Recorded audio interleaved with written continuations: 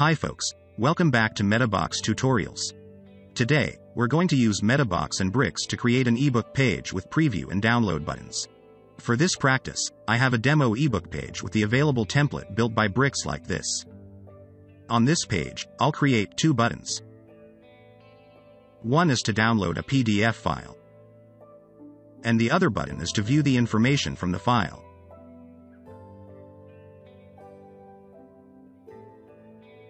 Each ebook will be a post in a custom post type. There is some information which is all basic on the page. The name of the ebook and its image are the title and featured image of the post. For the PDF file, we'll use a custom field created by MetaBox to save it.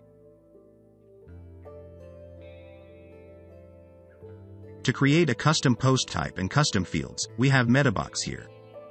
Moreover, we'll need some advanced features of MetaBox so you can download its extensions individually or use MetaBox all in one.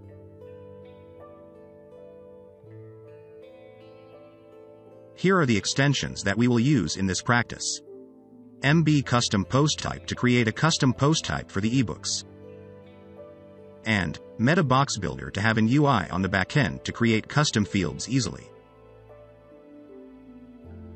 As mentioned, I built the page with Brick Builder, so I have it here.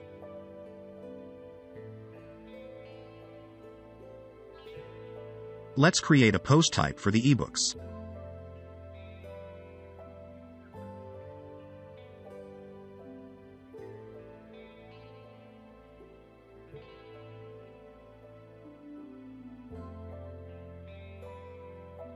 I'll use a custom field to store the PDF file of the ebook.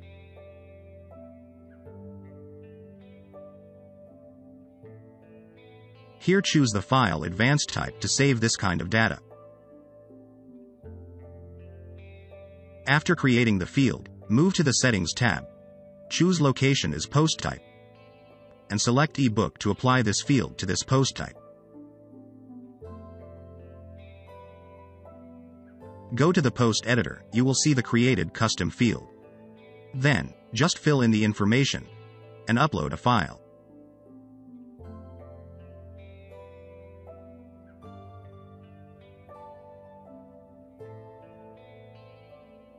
Here are some ebooks that I created as examples.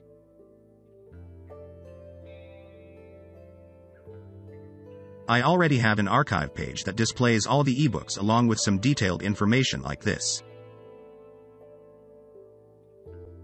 I'd like to add a download button and a preview button to this place.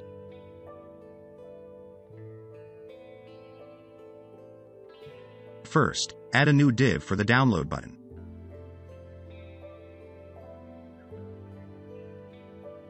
In this div, choose the HTML tag as a link. This makes the button clickable.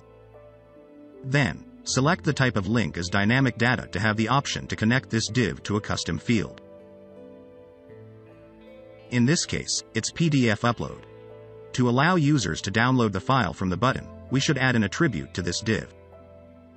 This is an HTML attribute. I'm adding CSS classes to style the button. Now, add the basic text element to name the button.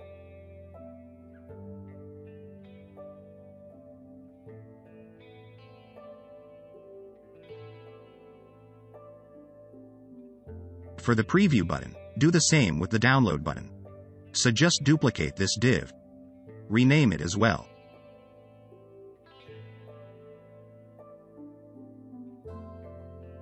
Keep the type of HTML tag as a link and connect with the PDF upload field. If you want to display the PDF file in a new tab of the browser when clicking this preview button, turn on this option. Also change the CSS classes to have a different style with the download button. Finally, this is just previewing, so remove the attribute that we used for downloading. Now we have two buttons. Change the spacing a little bit then you get the final look of them.